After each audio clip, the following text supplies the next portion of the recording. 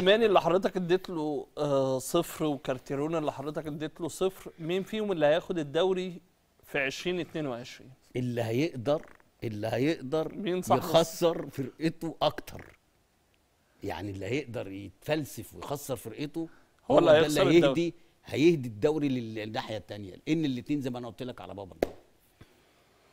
واللعيبة سواء هنا أو بص هنا أو هنا ما بياخدوش حاجة جديدة انت دلوقتي قاعد عارف ان اول تغيير هيبقى لنادي الزمالك اوناجم مم.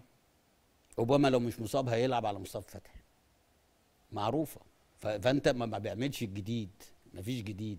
يعني س- سيسي ده احسن فترة له الفترة دي ان هو يعني يرجعه فورمة ويعمل له برنامج سيسي ده يبقى احسن لعيب كورة في الدوري السنة دي لو الراجل ده احتضنه واستفاد منه.